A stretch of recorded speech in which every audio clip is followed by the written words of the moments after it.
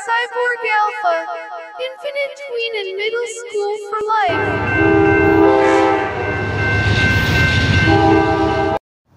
Well, at 22 hours and 22 minutes into the uh, uh, 5th day of November 2021, this is the best time to do this. So we're getting started. It is freezing cold outside. It's about 40 degrees.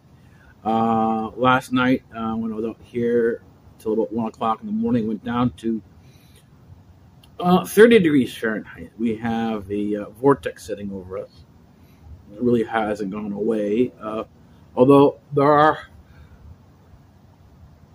there are higher level clouds. I was able to look at the uh, aircraft and determine by the aircraft that was coming coming by that uh, uh, that there were higher level clouds because you see the clouds to a certain degree, and you see the clouds because there's no stars in the skies. To determine the height, you have to see what type of planes come by, how high they are, and you know so on and so forth. Uh, if you can hear a plane but you can't see the plane, that means it's in the clouds. That means the clouds are lower down. Uh, all the planes I've seen so or heard so far, I've seen, uh, which means that the clouds are above the aircraft, the, the of the altitude of aircraft. Let's see what's happening here. Someone coming in.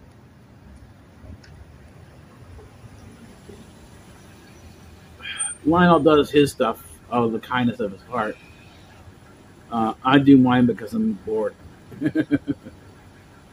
there's not a lot of there's not a lot of uh,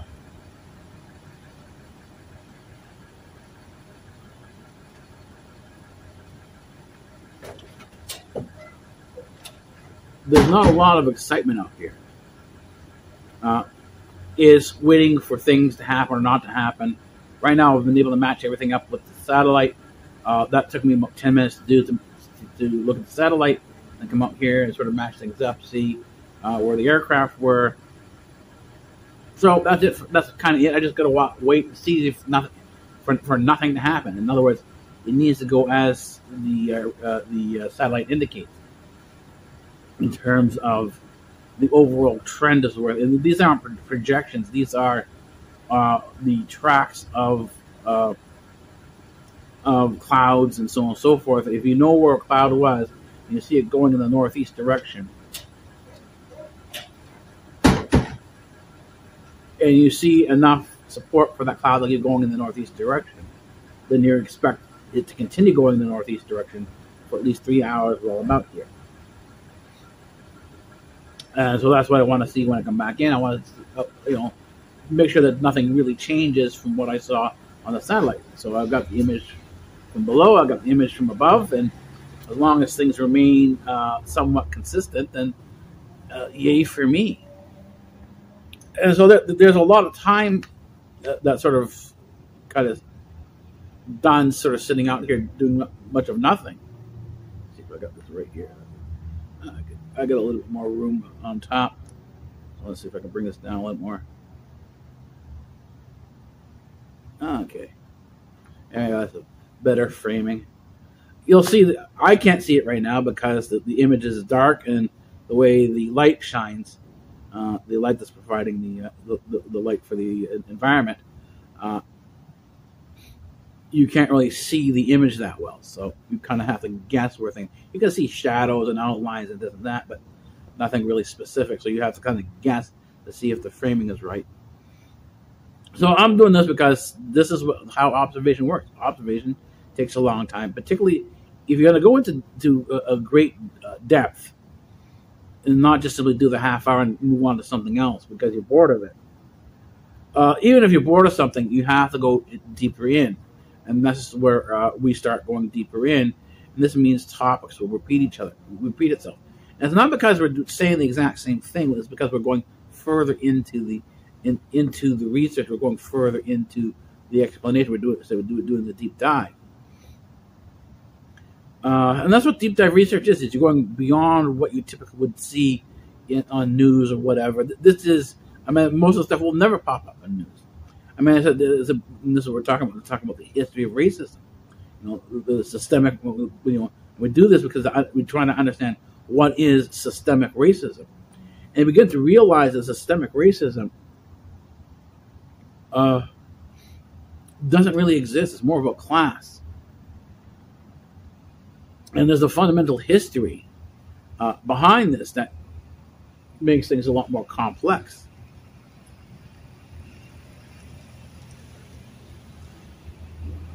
Uh, and then Uber like that.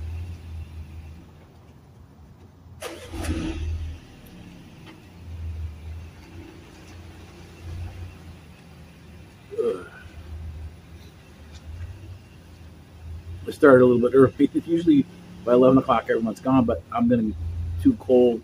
I don't think I'll be able to make it till one, one o'clock in the morning. Um, because I'm just sitting here.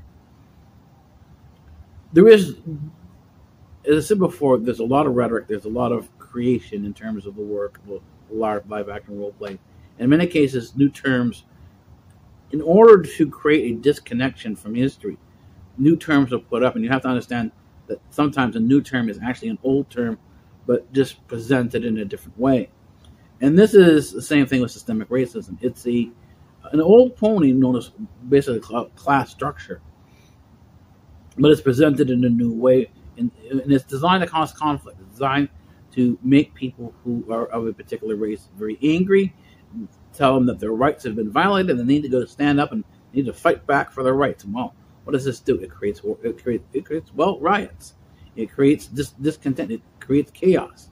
Of course, there are people above who, who benefit from this chaos. And so, you know, the more violence there is, the more, you know, disorder is down below in terms on the average street level, uh, the more the higher up. So, but you see, we need we need more security. We need more of a police state. You know, really crack down on the rules. And what do we see now with COVID? Crack down on the rules. They've reimagined the police.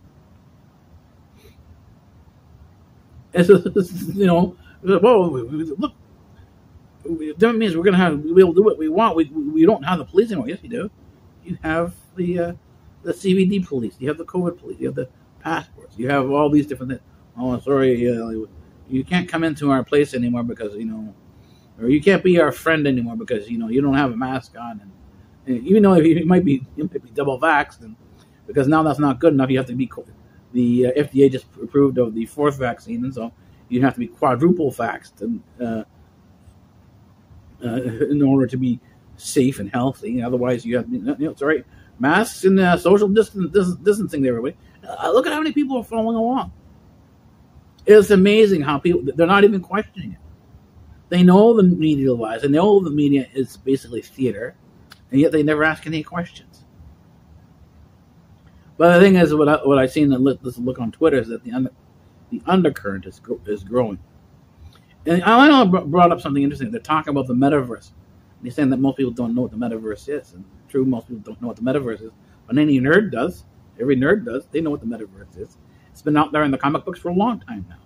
And the thing is, people don't need to understand there's a large chunk of these computer geeks who like Bill Gates and stuff like that. They grew up on the metaverse. This, this is Batman, Spider Man. This is uh, uh, Wonder Woman, uh, Thor, uh, everything you see out of Marvel, Marvel and DC comics in terms of your theater and movies and so on. So they were always there in the comic books beforehand.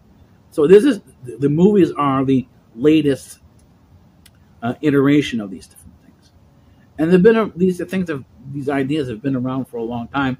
Even the way some of these works are sort of created uh, have been around for a long time. It's nothing new, like the so-called systemic racism, the, the situation that we have now uh, which is, comes from the Calvinists, and this is who uh, Bill Clinton is a Calvinist, and is a former Protestant that they believe that God came, came Christ came to earth uh, and had to be crucified for our sins. In other words, it was a punishment by God that God demands blood. He needs, needs this sacrifice in order to be uh, appeased. You have an angry God who's going to, uh, you know, take his wrath out on you. You have a wrathful God, a stern Father who will whip you straight, and that you have to pay for your punishment, pay for your sins. You have to be punished for your for, for your evilness and any mistake you make. Well, this is what produced these reformatories. This is what produced penitentiaries. The entire criminal justice system is based on this. And the the socialists, uh, who were the humanists, evolved from the Catholic Church. They evolved from the Catholics. The socialism, uh, communism, all of the other isms that are out there, these are all different works of the same humanist understanding. And the thing is, socialism is a work, leftism is a work. You know, same with, with being a, a nationalist, that's a work as well. White supremacy is a work. But again, that doesn't necessarily mean people aren't, aren't going to believe this stuff. They're people going to be in that uh, matrix, if you will. and they can't see outside. They think that's what it is. And what it does is it creates a sense that there are people who are down below you. And this is what it does is that who are sinful, bad. And it's your job to correct this this bad nature. And of course they thought, you know, the Catholic Church thought it was evil sins and that you had to be, you had to exorcise the demons, and so they created these torture chambers, and so that they, they worked out your sins. They got the appropriate punishment, and afterwards you were executed because you didn't want they didn't want you to sin anymore, so they killed you. So at your best point, and well, there you go. but of course, if you were deemed to be guilty of any such you know heinous crimes, you know like heresies and so on and so forth, uh, well, then you'd have to be killed as well because, you know, allowing you to go out and go free is that's simply going to spread the problem. So, sort of like, like, these sort of, you know, these things are uh, these spiritual diseases. Uh, you, you, have to deal with them. You have to amputate them. You have to get rid of them. Just like in, so that that evolved from the the Protestants who didn't do exactly the same thing, but very close to it, but decided that they would need to fix these people well, how would you fix these people? You put them into hospitals. You put them into reformatories. You're going to you're going to repair the behavior. You send them to a re-education system where you will reimagine who they are. Beginning to get the picture. So this is the West. But you say, oh, well, you know, that's white supremacy. There you go. Well, if you go to the East and you look at the way the history of the East, you'll find the exact same thing. You'll find that God, their gods, are wrathful, need to be appeased. Uh, Certain people need to be sacrificed to these gods, and these are people who are on the lower levels. Go, go ask an Indian, not a Native American, but a real Indian. Native Americans are not Indians. They're called Indians because Columbus, when he got here, thought he had reached India. They were Columbus was, had no intention of settling to North America. He didn't come out to discover the America. He came out because he was convinced that they could sail around the world uh, and reach India from the from, from the Atlantic side. And he could, but he just didn't do it. but he, when he got here, he thought he had discovered India. So this became the Indians. it was these sort of these mistakes in history that sort of actually make history itself. But in the East, you ask the Indians, you talk, ask them about this group of people called the elites. I had people that I knew would sort of talk talk to on a regular basis uh, when uh, when I was ordering uh, Subway uh, a lot, and, uh, and, this is why you have the, the, the the mark on the forehead. The mark on the forehead is a ranking of class. It's, it's where you live, where you stand in society, and their their, their standings are based again based on their understanding of the nature around them, and also the all the Gnostic nature, the the, the, the, the wisdom of above. The ones who are said to be enlightened, these are the Brahmin, these are the priestly classes. But there are people who are down below, known as the Dalits. These are the, from the Jewish perspective, these are the unkosher people. These would be like the Samaritans who weren't kosher. They were considered to be uh, vile, dirty, uh, unclean, and these are people who would not associate with, nor would you touch them. You, these were then that's all. They're also the Dalits, the unkosher people, the Samaritans. They were the untouchables, and so you have this system of division within society, not only based on royalty but also based on uh, the uh, structures within. Well, see, the royalty were royalty were always ordained by God. There was no separation between church and state. Uh, or gods, I should say, because because was the, the, There's a Christian, early Christian sense. There's a a thousand AD post Christian sense. The 1000 AD Christian Christianity kind of ends, uh, and the Western world emerges, and you now have uh, pagan gods uh, and these kings and queens who were ordained by them, but they had a Christian faith. They used a Christian faith. face.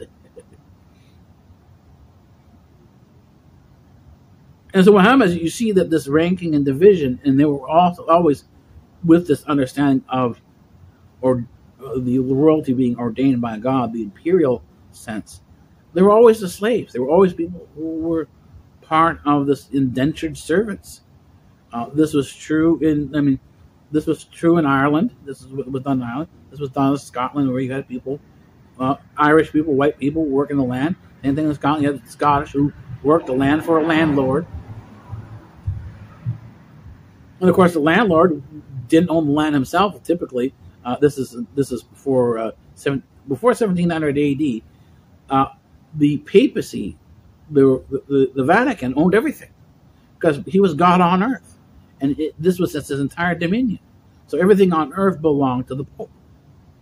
And he, of course, he went around with his armies and uh, you know and took over and, and as much land as he could. This this is what the Crusades were about.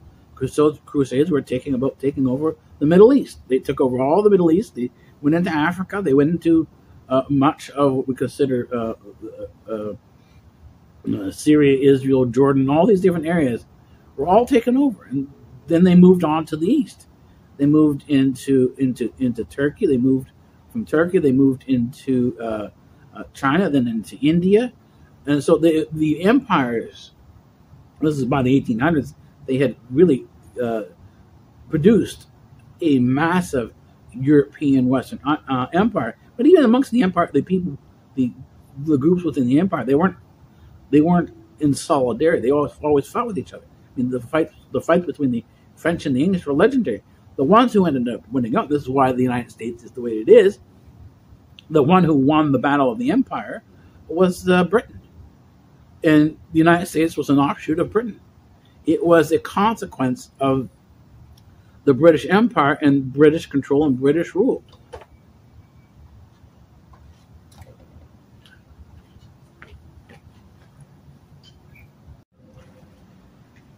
There's a song called Rule Britannia. Rule Britannia, Britannia rules the waves, right? This is the anthem of the British Empire. Because the British Empire had gotten so far and so big that fundamentally controlled the world. and of course, the French hated this. this, is, this is why in, in Canada, well, why is Quebec the way Quebec is? Well, because it's the French sticking its nose in the face of the of the English. it's, an, it's called an effrontery. Well, you know. so there, there was never, and this is the way it is with demons. There's never any peace between demons. It's always infinite warfare. This is the way it's always been do change and do something different. And this is what, what had to happen. What had, had to happen with the atomic bomb. You couldn't use atomic bomb as, as, as a weapon of, con- of conquest. So the age of conquest ended with the atomic bomb because you now had a weapon that you couldn't use. This the atomic bomb was a weapon of annihilation, so it changed the game. The attitudes didn't change. You always had from from 1800s on, and know, even before then, that certain people shouldn't live. That the that the earth needed to be cleansed of the Dalits, the the untouchables, the the unkosher, the unclean.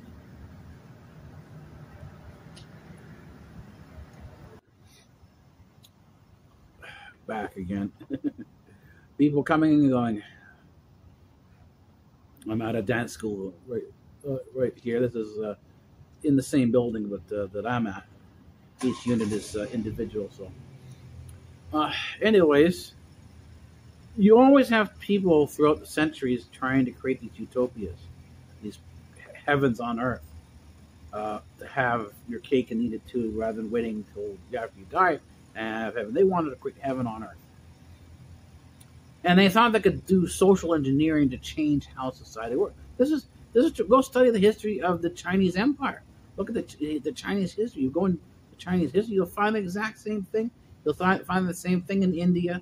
Same thing went on in India with, without any interference from from the uh, from the English. Uh, this is uh, how, in many cases, Alexander the Great uh, operated. This is how he created, uh, created the the the um, the uh, Hellenic Empire, which stretched all the way into India. This is how you get Afghans who consider themselves to be Hellenic. And it's because, and the thing is, with the Silk Road and everything, like even without the conquests, when you had the Silk Road with the trade going from Egypt all the way into China, uh, you had an extensive network of travel that people went back and forth. So you had these traders. But not only did you have the, the Silk Road, but you had trade by sea. You had, you know, sh- those the, the, shipping lanes. But go back, go take a look at the, at the tales of Sinbad the Sailor. Right? That's not from Europe. That's not. These aren't European sailors. They're not sailing European waters. These are people, in many cases, on the Indian Ocean, or what we call now the Indian Ocean. So these, you have histories that are not European. So if you want to understand this whole systemic system, you have to go outside what we'll call the North American or the Western sphere of influence and look at histories that are not included in them. That's basically your global history, uh, going back into antiquities, going back into uh, early empires, and looking at how people behave. Look at look at what they expected. Look at what they what they thought they understood to be the truth. And when you look at this, you'll see that, that the conditions today haven't really changed. It's, the views are very much similar. They have different faces, different names. And then if we're going to get over the thing to a better world, then it's not about whether somebody is racist or not racist, it's about how we treat each other. And you start beginning by, in many cases, removing your own anger. removing your own anger, and being selfless, means that even if you are offended by something, you smile and say thank you. That's the nature of forgiveness. The nature of forgiveness is that peace is always with you. The person who is who, who is who is acting offensive in many cases, they're acting angrily, they're being very critical. These aren't happy people. And so the thing is, is that do we want to become like that? Do we want to become part of this sort of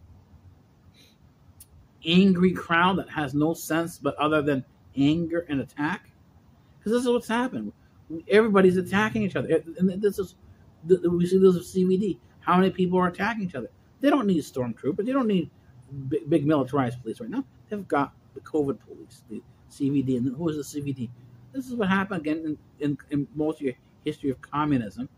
And unfortunately, communism, Marxism has a history. They've tried it. They've, they've tried this several times. And every time it turns out the same thing. Is it a planned economy? Yes, but it's not your planned economy.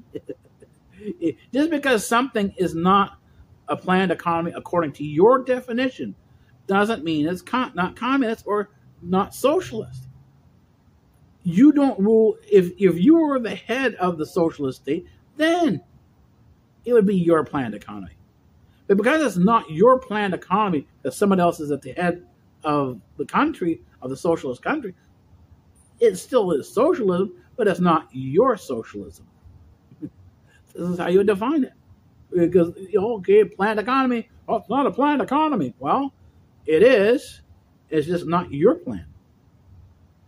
And this is you hear Lionel talking about in terms of his behavior. I laid out the blueprint. Here you go. Follow us along, and Where you go. You'll have this all sold up. but the thing is, again, on Twitter, you know, wow, 80 to 95% effective. Well, we were pretty sure. we we're pretty sure about our certainty. and that's, uh, you know, some of these people, they, they, they produce oxymorons. Oxymoron, because it needs to be defined because most people are using it wrong. Oxymoron is not a moron. and It's not an insult. It is a term that denotes that, that, that something is a contradiction. So if you say, I'm a free slave, but you're still a slave. Uh, that's an oxymoron because you are either free or you're a slave. Pretty sure about certainty is an oxymoron because if you have certainty, you're not pretty sure about it. You're certain about it. That's an oxymoron. These things contra- these terms contradict each other. And the thing is, so when you have a liberal pop up and say, "We are the most tolerant people on earth. We are. We define tolerance. We just don't tolerate." And they give you a list of things they don't tolerate because because it's hate speech and hateful. That's oxymoron. That's by by definition. That's oxymoron. But of course, as soon as you point this out, the liberal is going to be triggered and offended because he's an intellectual and you're not, because eh, no one else but this intellect, but this liberal is an intellectual, and he's always right. His worldview is the only correct worldview, and so therefore, he now has the right to be triggered, and you are now offensive, and he has the right to hit you and attack you because you're being dangerous. Your thoughts are a threat to. And him is, again, we have to point this out, because of the people who, who, who don't seem to understand that he is anthropomorphic, meaning anthropomorphic meaning man, the human species, right? Man, human, the species. You understand this? He, man is the species.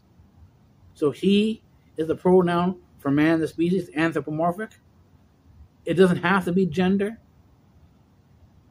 for those of you who uh, are, are, trying to be pronoun correct, we need to be pronoun correct.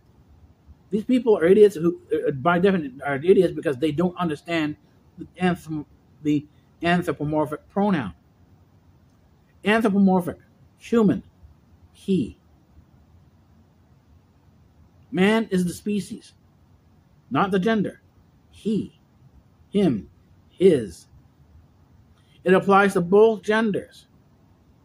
This cannot be understood by those who are supposedly woke on the left.